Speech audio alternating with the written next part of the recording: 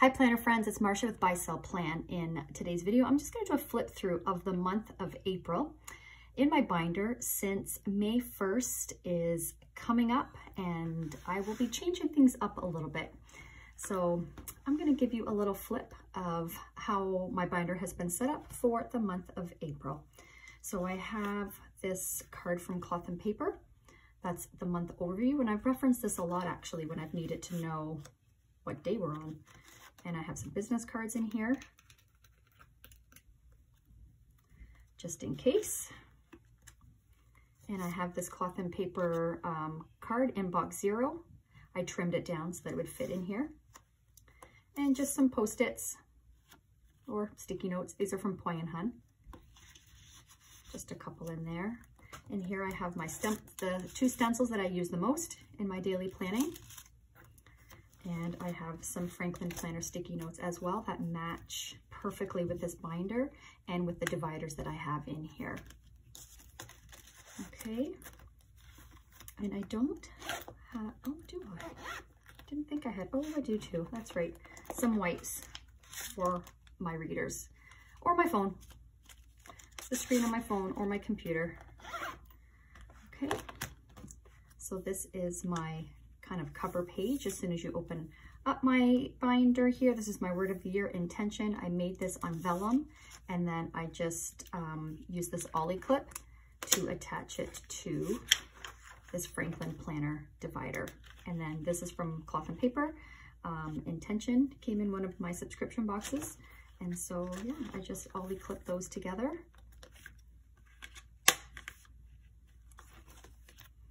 And then this, uh, these are my task cards for my planning. And I love this, and I like how this layers. Make this moment count. Just a nice thing to see when you open up your binder. And then I have some motivational um, journaling cards from, I believe these are all from Cloth and Paper. And the card holder, the business card holder is from Franklin Planner. And I trimmed down a lot of these cards to fit in here. Some already fit, but others I had to trim down. Okay, and then my clear dividers are from Dividers R Us. I do have a promo code um, if you'd like to get these as well, 15% off, and I labeled them myself with my label maker. So first section is my schedule. This uh, dashboard is from um, cloth and paper. I just love, I love the simplicity of it. Own your own story. And I liked having this at the very front of my schedule section. Okay, and then my monthly divider. This again is from Franklin Planner. I think it's the Gingham, Gar Gingham Gardens tab dividers or Planner Love. I don't remember. I'll find out and, uh, and let you know. Um, and I just trimmed off the tabs. It's so beautiful. I love it so much. And then I'm in the Carrera inserts for now, switching to um, switching to the sandstone in uh, July. So this is, I think I've already gone through all of those with you. So here is my April calendar. And I loved having these um, Happy Planner stickers on here just for a little pizzazz. Okay. And then my master task list. Alrighty, and then my Today tab, I have these clear, um, oh, what do you call these? They're from cloth and paper and they just stick on. They're very sticky, but they also come off really easily and they don't leave any residue on your divider. And then these are from cloth and paper as well. I just put my AM and my PM routines in here just for easy reference. Okay, and here is my April cover page. Now, this is for an index, um, but I like to put my goals on here for the month, and I use the index um, that's at the start of my monthlies because I don't need two, two pages for it to index. I don't really have that much information that I need to uh, index. So I'll just quickly flip through here. I use different colors each week for stickers to notate appointments and phone calls. Sometimes I'll use little, little stickers as well for fun, but I mainly use my stencils to indicate um, what I'm doing. I binged Schitt's Creek um, this month and oh my gosh, I've been missing out. That show is so good and so funny. I can't believe I hadn't watched it. I thought, well, because it's Canadian, you know, Canadian content. I'm in Canada, I shouldn't say that, but there's been a lot of Canadian shows that haven't been that great. So I just didn't. And then I just thought, okay, you know what, what the heck? It kept showing up on Netflix. So I watched the pilot and I was like, oh my God, this is hilarious. And then I binged it and I freaking loved it. And I'm sad now that it's over. I think I watched it in like two weeks. So, yeah. So here we are halfway through. I don't use these pages as much as I could. And I then sometimes I think about going down to day on one page and then I thought, then I think, well, there will be that, you know, those times that I'm going to want this for notes because there are some times that I do take a fair amount of notes and then I'll regret not having them. So, and every now and then I like to document when we have a really nice day because I do look back on these. I don't do it a lot, but I do look back on these and it's nice to reflect back on like, oh, that's when the spring weather started last year or that year. So it's been a great month. Kind of a slow month in terms of activity, but that was on purpose um, because we had such a busy first three months of the year that uh, we, we were tired. We were really tired, so we needed to just take it easy. So those are my monthlies. And then my weekly section. This is again from Franklin Planner. And my weeklies are the Blooms week on two page timed inserts. So here's the month of April. And then here's where I keep my um, weekly task list. And then I do my recap on the back of each week under the weekly notes section. And I do like to see my week at a glance even though my more detailed planning and tasks are on my dailies, I like to see my week at a glance. And then also when I do my mileage, um, it's nice to not have to flip through page by plate, page by page. I can see um, the week at a glance. And then I use a cloth and paper um, uh, transparent page flag to mark the week that I'm on for my tasks. Okay, and then here's my social media section. Love, this is my favorite dashboard. Inspire from Franklin Planner. These are from Cloth and Paper. And these came in a um, subscri subscription box a couple months ago. And this is, you can see the layout, it's, it's um, vertical, undated. And this isn't my style of planning for my day-to-day -day or my or my weekly planning. So my thoughts on this are what I'm going to do for my YouTube channel, uh, my real estate YouTube channel, like a week in the life of a realtor. And then based on what I have going on, um, and then plan out, so write down the, what I have going on, then plan out how I'm going to film and kind of what my vision is for for what I'm filming. So that's what I have these in here for, because I, I really feel that the layout would be good for that. And then here I just use these cloth and paper executive style notes uh, note pages for ideas for my YouTube channel. And then I have motivational quotes that I like. So if I just want to do just like a regular picture with um, like a motivational quote, I have some here. And then I just check off the ones that I use so that I don't use them more than once. And then some more ideas, getting into reels. They're pretty fun to make, but a little bit time consuming.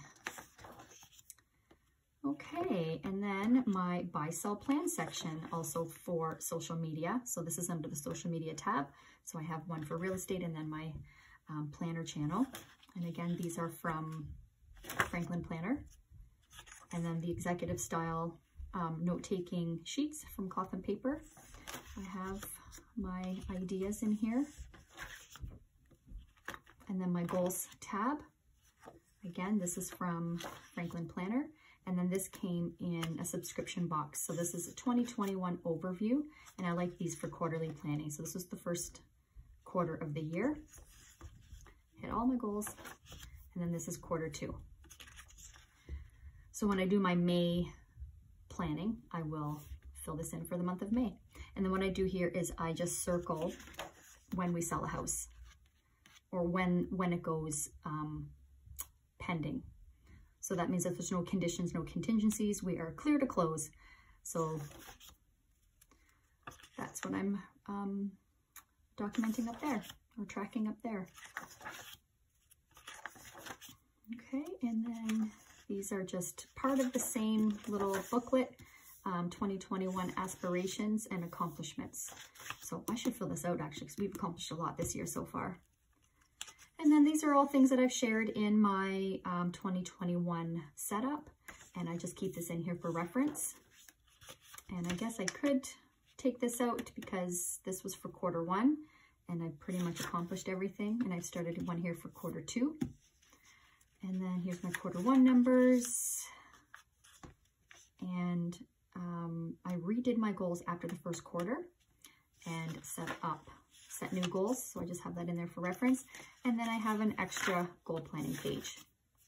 And then I have my values, my rules and goals, starting point questions, evaluation questions, mission statement. That is all in my goals tab. And then for wellness, this is, um, these two are from cloth and paper.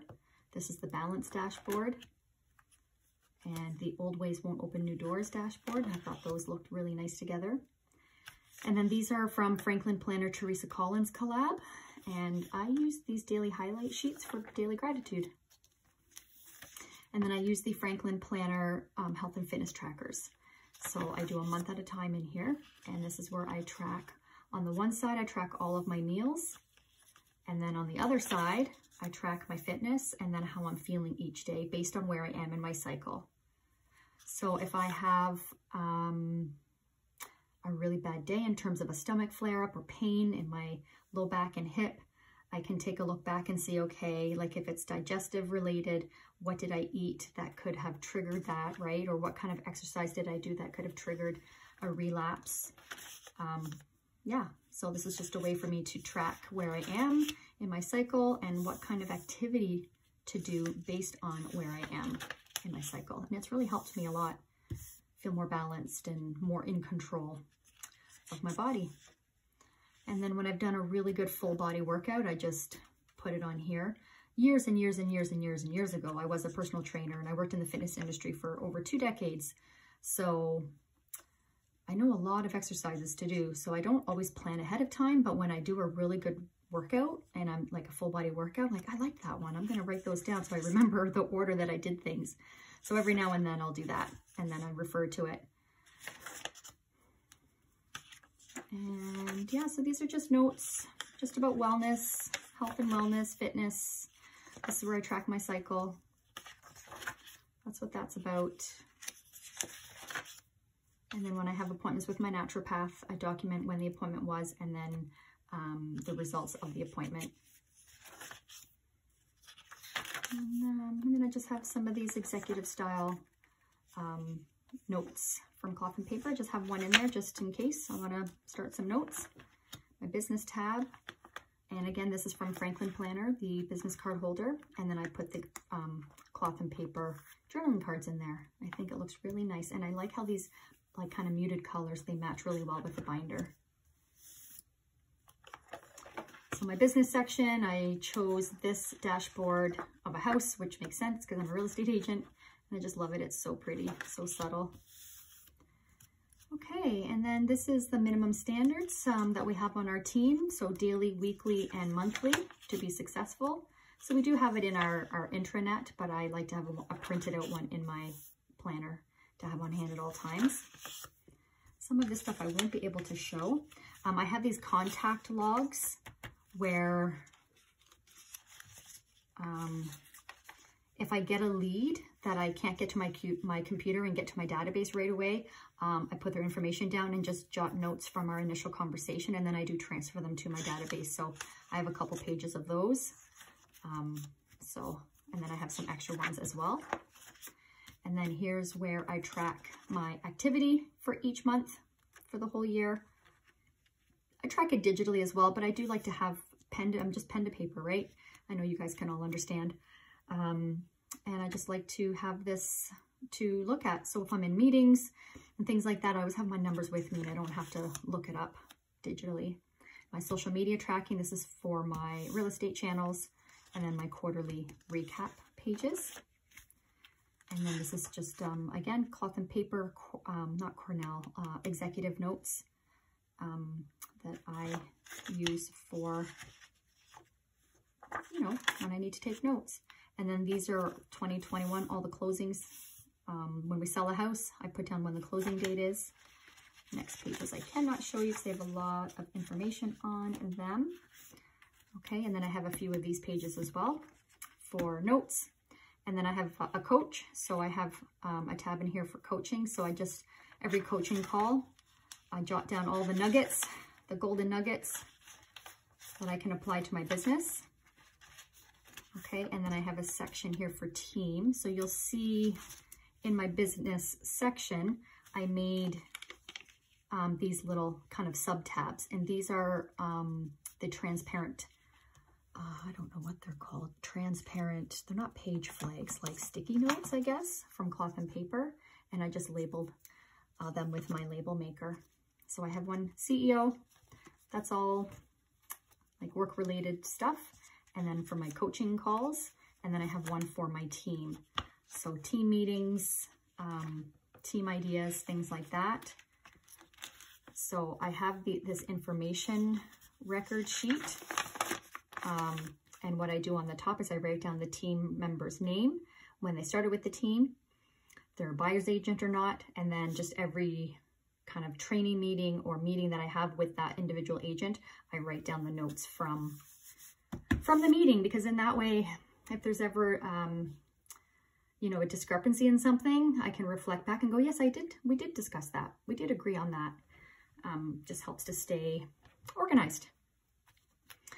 Or, and it's same thing, if they needed something from me, I, I, write it down and then I can look back and go, okay, what did I, you know, what did I need to do to help support um, my team? And then I check it off when it's done.